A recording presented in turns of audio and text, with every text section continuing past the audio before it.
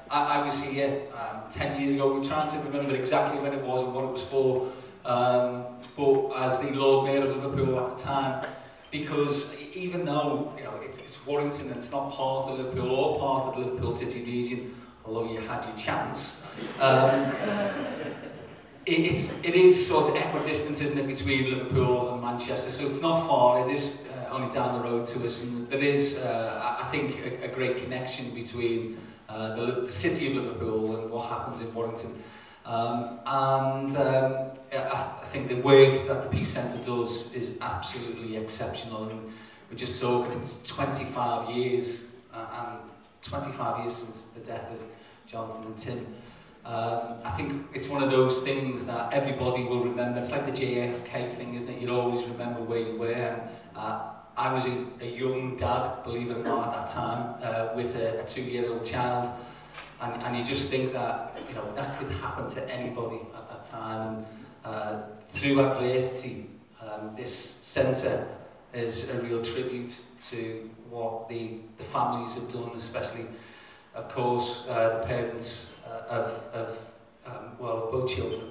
Um, and it's been used to great effect to affect people's lives. Uh, and 10 years ago I came here, it's the first time back. Uh, I know it's a difficult, uh, I suppose with austerity, the economic conditions are slightly different than 10 years ago, shall I put it that way, when the, there were people who um, had money to put into to fundraise. So things like this are really helpful. So thanks for everybody for attending tonight and for uh, putting a few bob into those uh, envelopes. All of that will go to continue the great work that as, this goes on at the centre uh, day after day. So thanks very much for your help and assistance.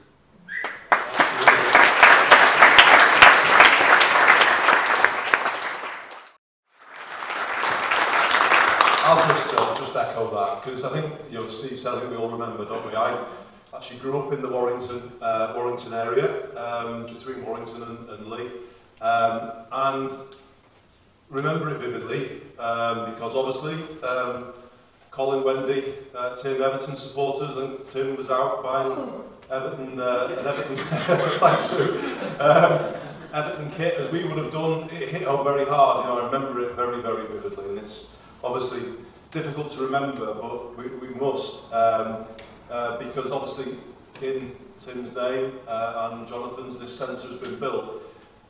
And the thing I want us to say is, you know, the value of bit, as Steve just said, was brought home, wasn't it, um, last year, when we saw the terrible atrocity at the Manchester Arena. Um, what I can say to you is I, I have heard so much praise for this place and the foundation uh, as it has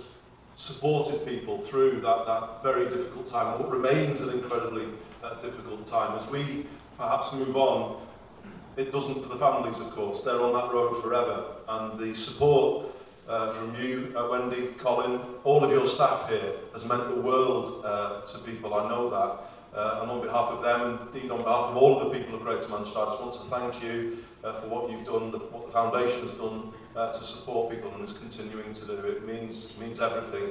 But as Steve said, the fact that you're all here tonight, you're also helping provide that support and I can just say to you all it's, it's hugely appreciated and, and massively needed so thank you all very much indeed.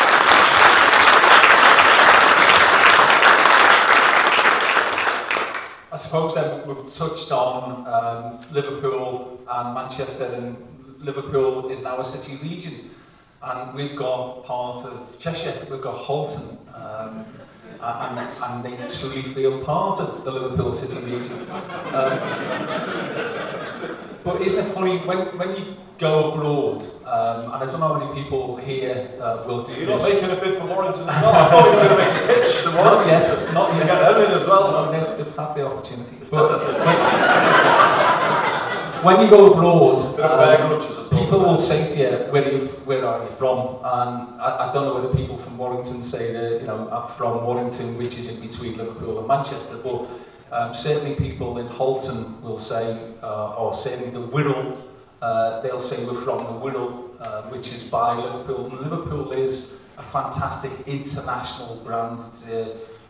um, you know, if we had the opportunity to take a brand, for me, it'd be Liverpool. It's the fifth best recognised um, city brand in the world, and I think that's because we had something to do with football and also a music that uh, you know revolution and four lads who shook the world and all that sort of stuff but it, it's a great brand and what we want to do is we want to use that brand to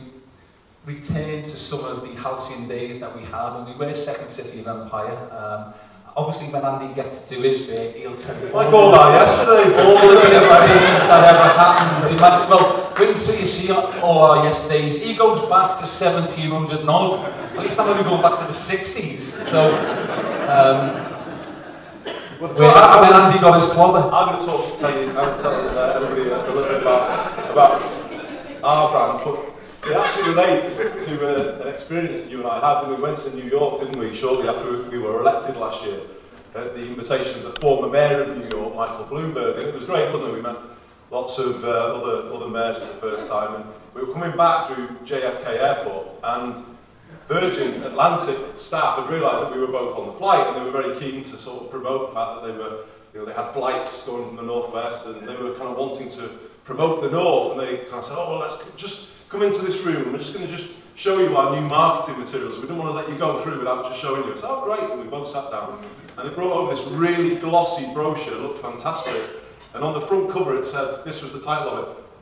Manchester and the rest of Northern England. and I said, you know what, that is brilliant, that, that is a really good title. Reckon, Steve, should we make that the kind of joint branding for Uh, his face was a picture, it was like... Uh, just because the people in Wirral say, I know I'm from the Wirral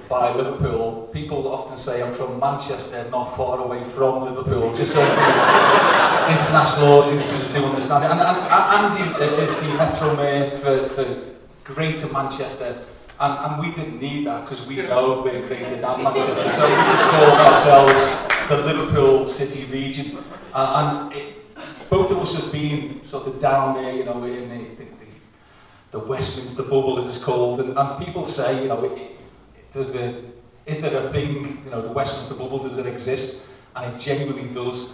And I spent seven years down there, and, and honestly, God, some of the things that happened um, really... Well, I'll tell you one of them. Uh, there was there's, there's these parliamentary protocols that you have to try and learn, and there's a thing called Ask and May. Andy's probably even read it. I can't even spell it right. But Ask and May is, is the Bible of how the conventions uh, um, of the House are, are, are um, put into order.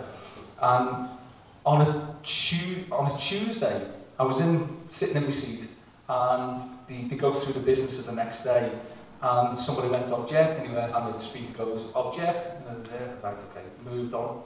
And the chief whip of the, the, the Labour Party came up to me and said, do you know what's just happened there? I said, no, I've not got a clue. And he said, do you know your debate next Monday? I said, yeah. That objection means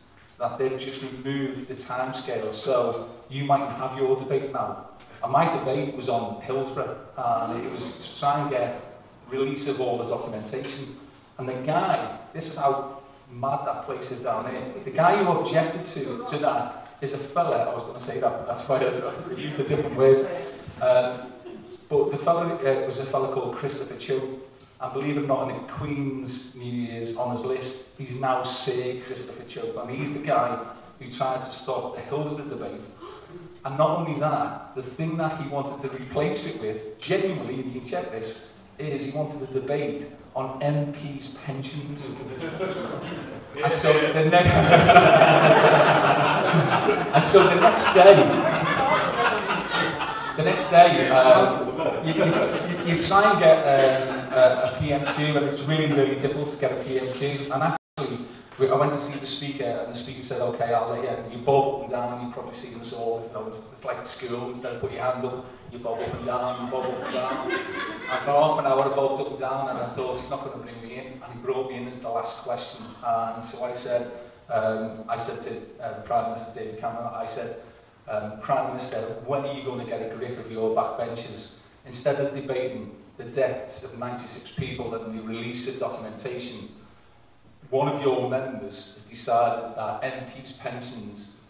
are more important. And we all decided to give credit where credit's due. and Karen said, don't worry about it. I will ensure that the Honourable Member has his debate. And if you remember that debate, that's when me and Andy spoke about the importance of getting this documentation released. We got it released, um, and then we all know the rest of that story. But that just shows you that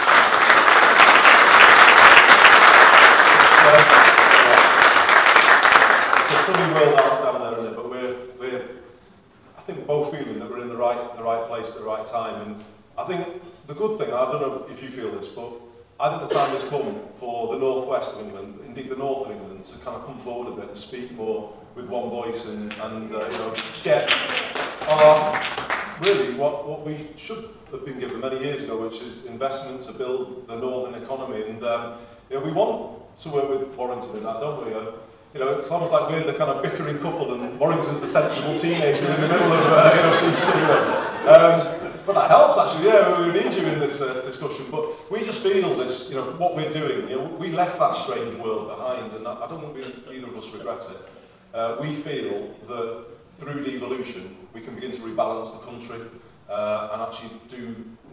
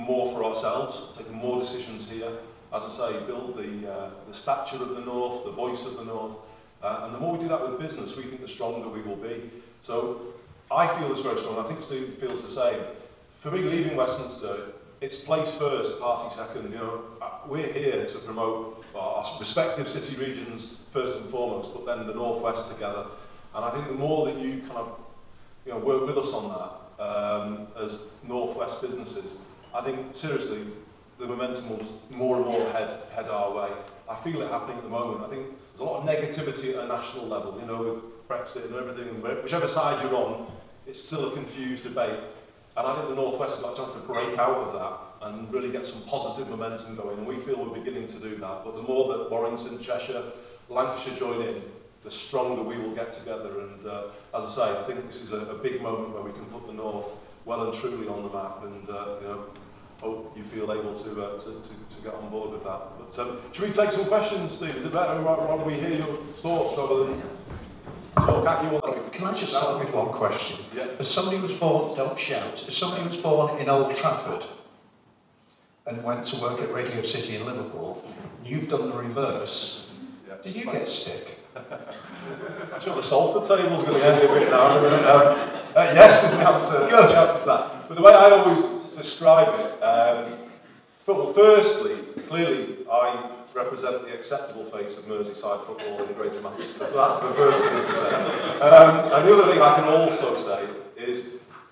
you know, whenever asks me about this, I can just say, you know, well, I'm, I'm utterly impartial on football matters. I am equally in favour of City and United beating Liverpool on a regular basis. it's not complicated. you're, spot on about world. My dad was from Birkenhead. I'm not from Liverpool. If you've got a question, put your hand up and I'll find you with a microphone. I'll be uh, the Dimbleby. One at a time. ah, here we go. Yeah, I found it. If the um, so the this is only because of your staff, and at, uh, this morning they released the Northern Powerhouse Education Report confirming that, well, saying that the South was better education than the North. Why do you think that was, and what do you, what are you boys going to do?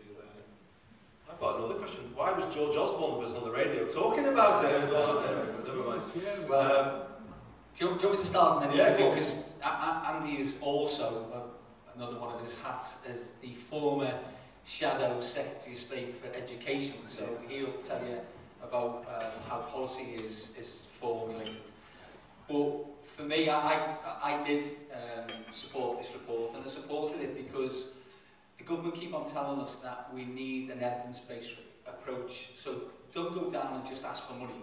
Uh, make certain that your business case stacks up. And this is a report um, from an independent and, and uh, as you said, um, fairly decent and well-respected um, source.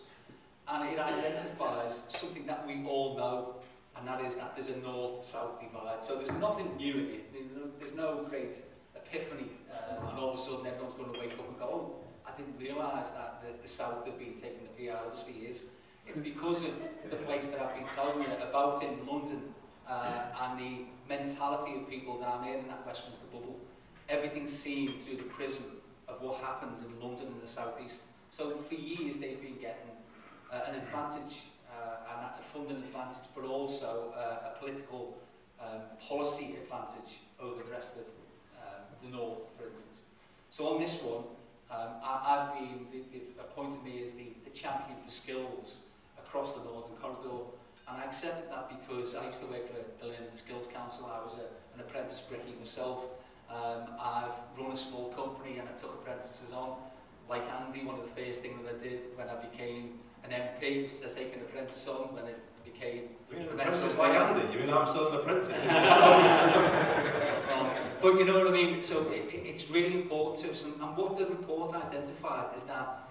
in the north, we're roughly one grade behind where the south are. Well, something needs to happen. That can't be right, can it? That we're one grade behind. They're not more intelligent than us. They have better opportunity than us. They have better funding in their schools than us. They have all of the things that should be spread across the whole country. And all we're saying is we don't want special favours, we want a fair share of the funding. And that starts with a, a, a request for £300 million pounds to level up the playing field so that our kids and some of your grandkids get the same chances as people in the South.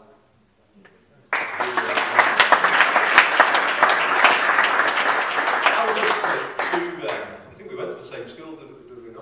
We did, yeah. Um, I don't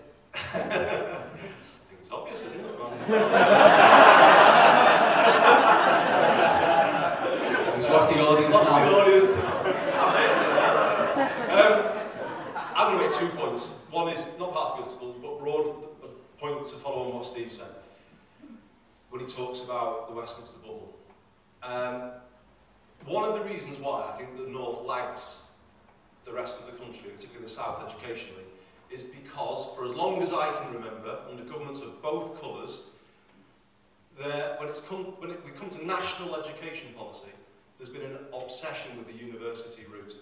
So all of education policy has been very much focused on people on the university route, because most people in that Westminster bubble went to university, and basically they create an education policy in their own kind of image, if you like, It has treated technical education in the Westminster system as a second-class citizen for as long as any of us uh, can remember, in my view.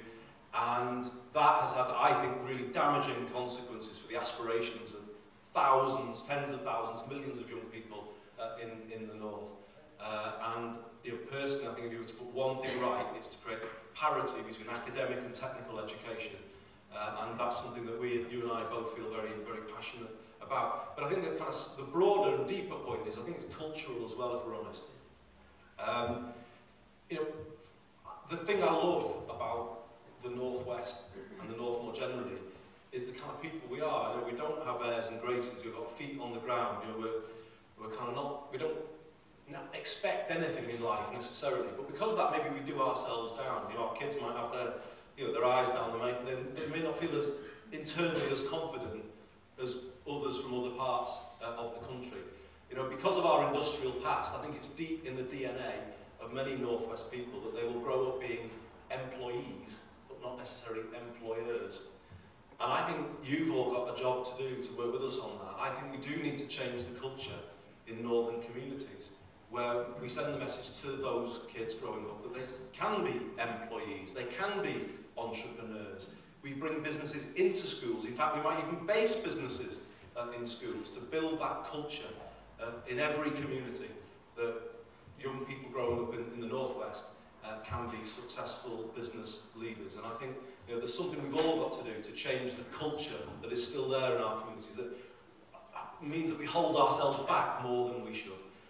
Uh, and I think you know, if, we, if we work on that, as well as giving technical education that boost, I think we'll be beginning to put some of this right.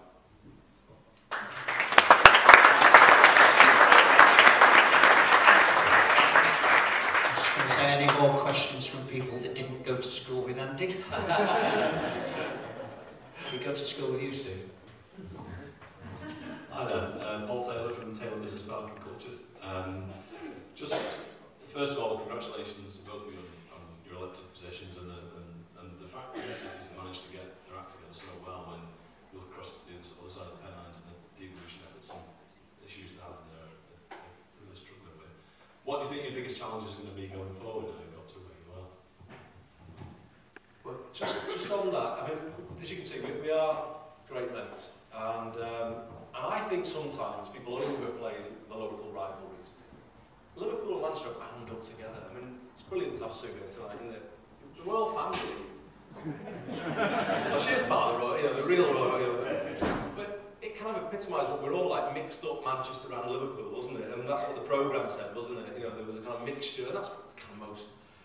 most of our families are alike. And we have far more in common.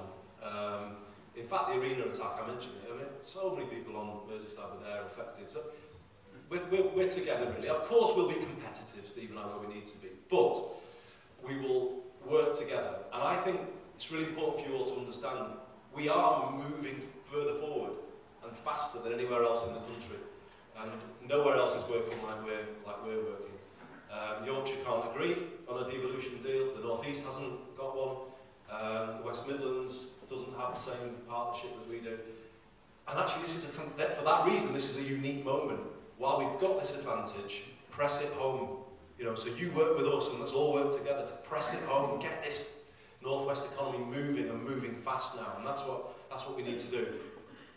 To answer your question, what is the biggest challenge? Steve may see it differently.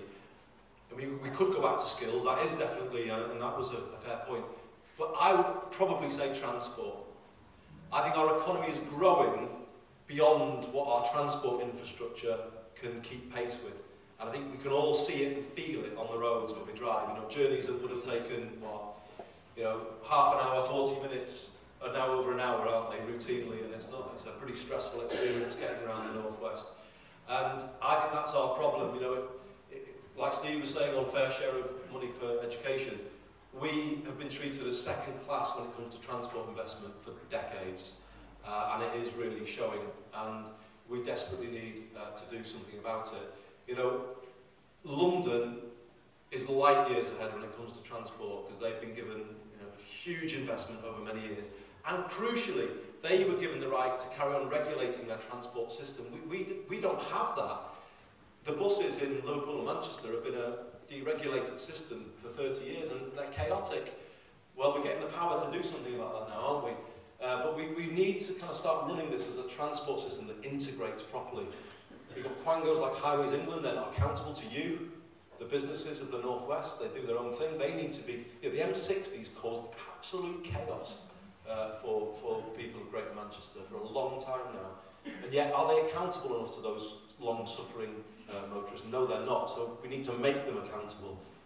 uh, to you. So I just think transport is the big thing. And we're building later this year uh, to a big argument to the government around HS2 partly, but we want to see, we think it's a higher priority actually than HS2, west to east rail investment linking Liverpool, Manchester Airport, Manchester, Leeds and onwards, I would actually say, if you gave me the choice, that is the single highest transport investment priority uh, for this country. And I promise you all, he and I will be joined at the hip, won't we, kind of standing together, making that argument to the government, and I'm confident in the end we will, we will get what we need.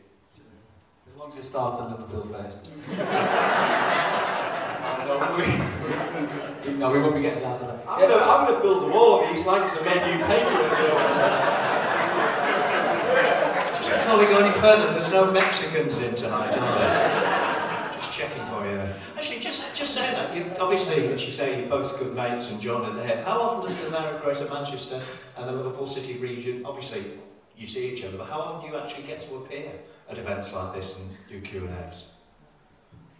Um, we, we could do an awful lot, um, but Is obviously we've got... The Manchester? Yeah, we, we, we did uh, an event a few weeks ago, and it was the, um, the Liverpool leg, if you like, the fundraiser after the Manchester bomb. Yeah. Uh, and we you know, stood up and, and told our story, the, the one about... Um, I get a phone call, I, I was with it is a name drop. I was with the uh, US ambassador. Yeah, he trying, said. He said trying to sell Liverpool. Yeah. You know, I, I, and uh, I was getting a phone call off my wife, and you know, she was obviously frantic trying to get hold of me. And eventually, I got to phone her back, and she said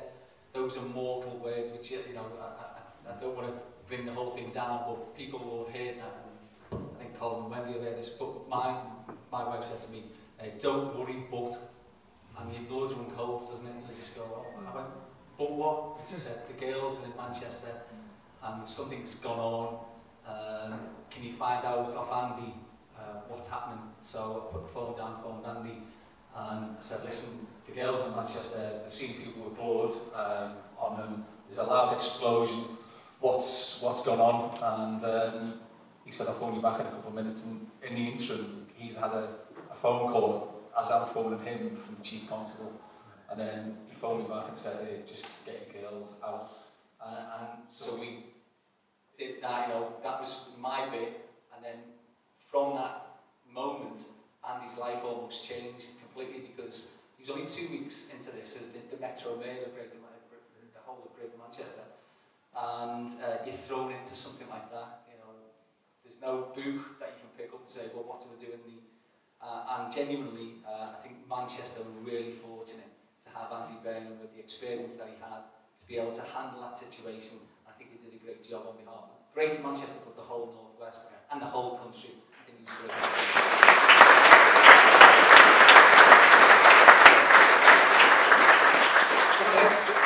back to you very quickly uh, on the back of that because I was just talking before you know, before we came on stage about that obviously that night we'll all remember that night won't we and I, I drove into Manchester at four in the morning I'll be honest sick to the pit of my stomach and knowing what to, to expect, you know, very, very kind of um, vivid feelings. But I was just saying that the big debate, first debate we had was whether or not to have a, a vigil. And um, Sir Richard Lees and I debated it, but then we kind of felt it probably was right uh, to, you know, we just felt instinctively people should have a chance to come together. Um, and that we're getting all this abuse online and, oh, yeah, light a candle, that's going to help, and cuddle, but, you know, you get that kind of, you know, it's familiar to uh, people who, who know how kind of polarized opinion gets in these moments. But it was the best thing we ever did, not because of what we then said on the stage or anything like that, but it kind of gave the people a chance to express what they felt and come together.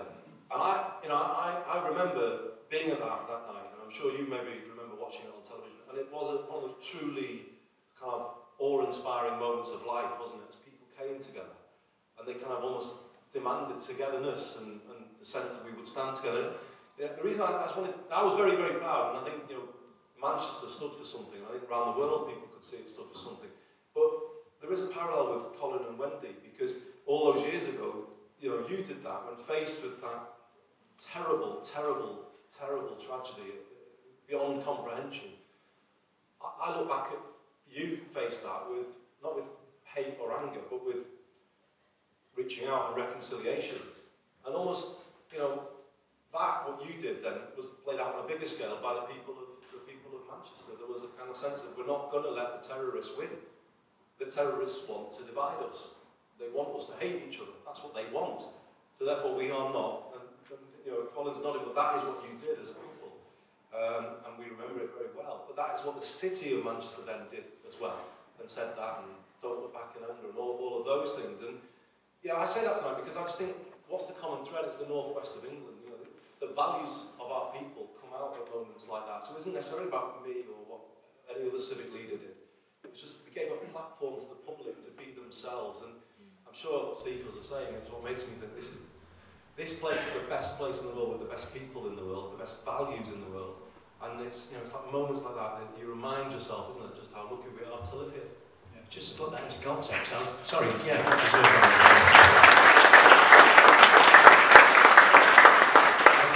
actually a couple of blocks north from the trade towers on 9-11 and I saw everything that happened then and obviously saw everything that happened in Manchester at the same time and I know which one was more efficient.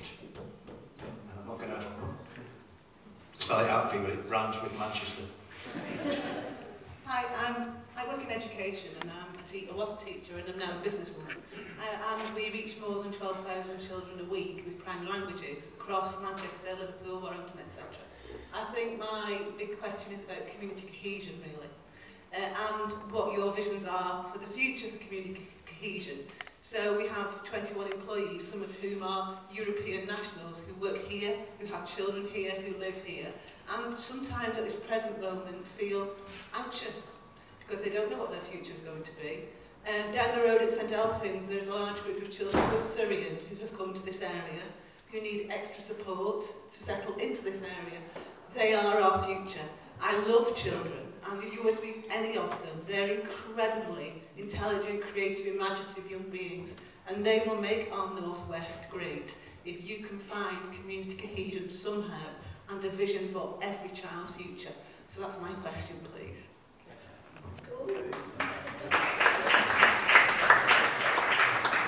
Well, I'm from a city where basically we're all immigrants. Um, Liverpool as a, as a port city, um, we're either Irish or something else. Um, um, for a long time, that has meant that we've taken the best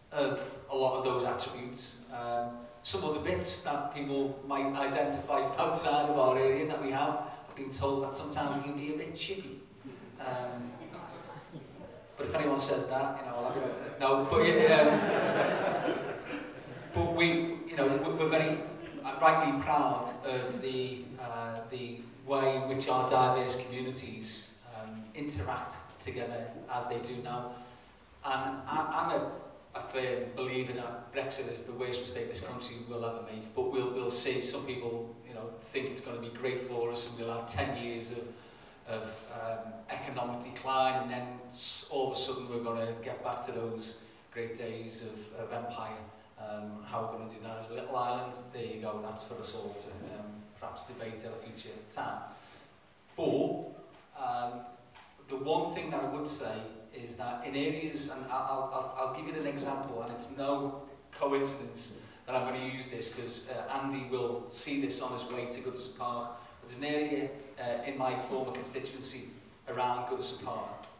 It's called County And in county, what happened was those properties were bought up very, very cheaply um, by an organisation based in the south. And then they used that um, as a transit um, system for people who were asylum seekers or, or whatever, um, who came, started living in those communities,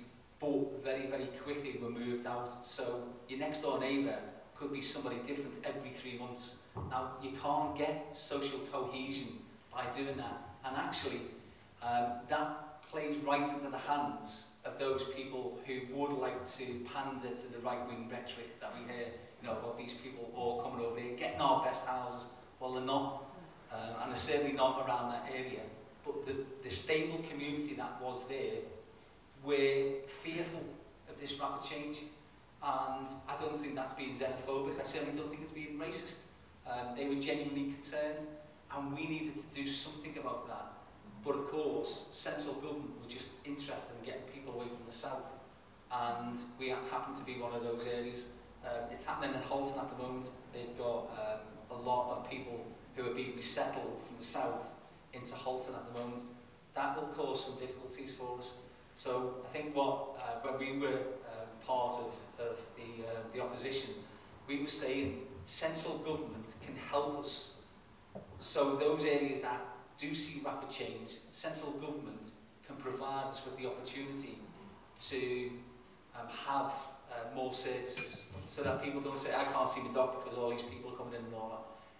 So the, the, the way ways that we can work together um, and I think if the government were genuine about trying to help um, areas in the north, they could have done that. They decided not. And what happened then, you see, um, huge swaths of working class communities vote for Brexit. And I don't think there's any coincidence that that happened.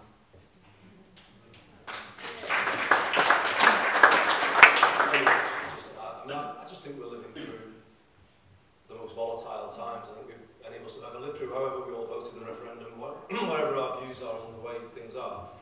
These are the most volatile times, and I think social media is is fueling that volatility and that fragmentation. You know, gone are the days, aren't they, where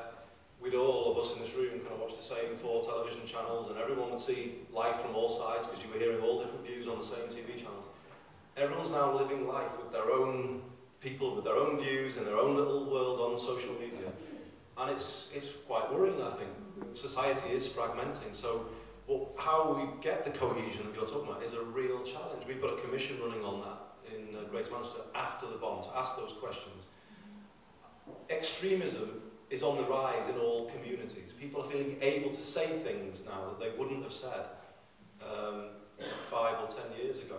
Um, and it's being fueled by politicians who've gone more to the extremes. It's a, it's a very worrying time. So you know, how to counter it is, I think you go back to, you start with families and communities. That's what we're going to do. We want to you know, empower people at local level to tackle extremism, to challenge it, report it, tackle it, deal with it. I think it is about giving hope to all young people. I think that thing I was saying before about you know, some young people not having hope of a future after school, well, do something about that. You know, let's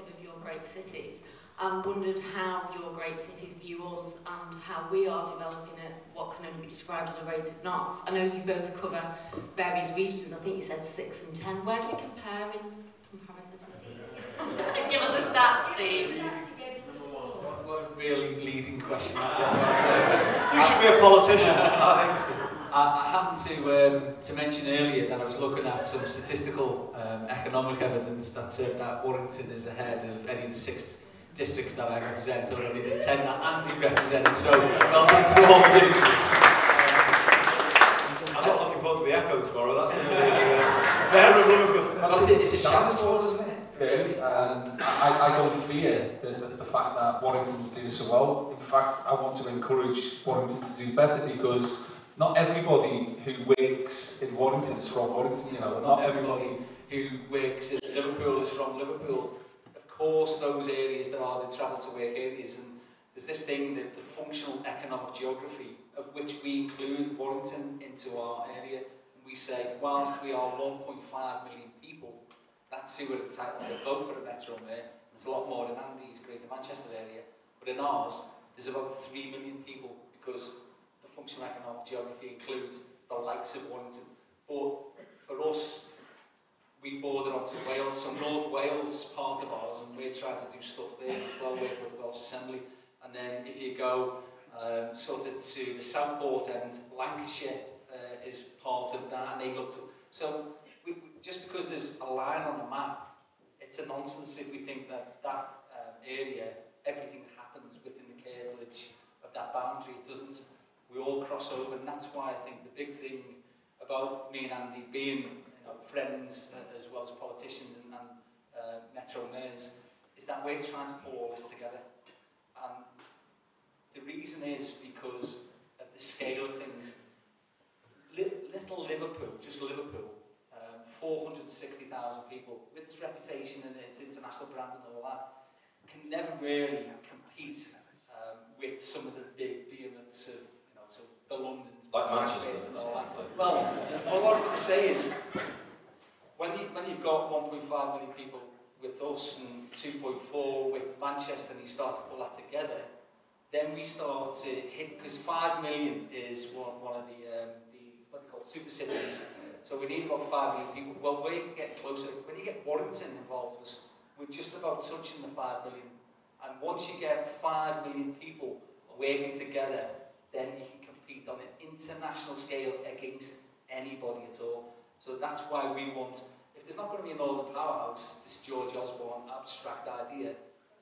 we'll create a northwest powerhouse.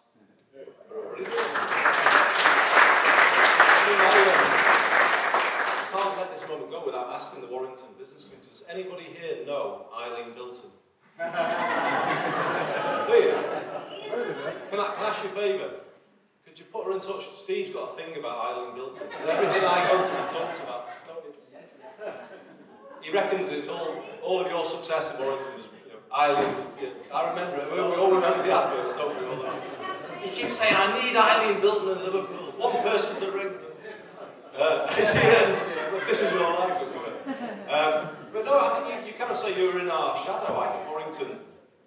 I think Warrington's positioned itself very well actually over the years, and sort of being the gateway to both. You know, I think you've, you've done that incredibly uh, uh, skillfully, and um, you know Warrington we both supported City of Culture a bit, didn't we? I know it didn't uh, succeed this time, but I think that's a, a reflection of Warrington's growing stature that it is making, uh, making that, that, that bid. And, um, you know, as Steve says, look, we, we, we, we want to build this with you. I, I, I would put the message out to you all uh, to, to, to challenge, um, you know, it's great to see the MP Warrington South here. I think that's really important to, to see.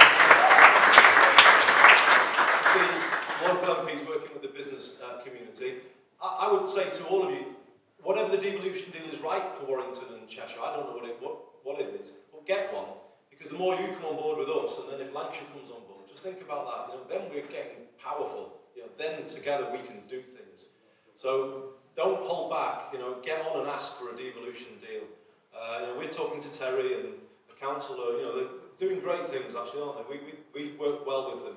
But the, if they're with us, though, with the same powers, then we can we can really do something. I'll just uh, tell you one last little thought about um, Steve's at Liverpool. That was, you know, um, you know, a few people in Manchester would, would agree with that, of course. Um, I was just, I was, was culture secretary a long time ago, running up the uh, London Olympics, and we were commissioning research at the time about how the country saw itself. You know, we were doing a lot of work about Britain and you know, how it saw it its kind of role in the world and saw itself. And we commissioned a particular piece of uh, research on what people thought the second city um, of the country was.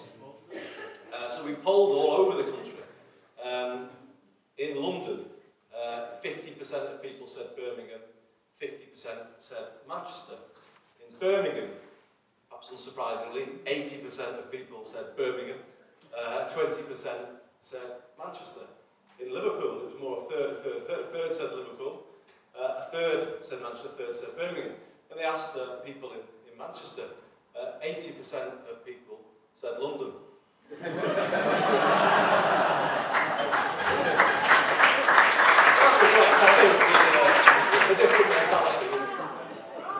Listen, gents, it's been an absolute pleasure listening to these two, I tell you. And it's great to see cooperation between Manchester and Liverpool that's been an absolute pleasure. And one big advantage Warrington's got now, the Liverpool arena's open, equidistant. You can go to two different arenas on either end of the M62. Had to get the right motorway there. Andy, thank you very much, Steve. Ladies and gentlemen,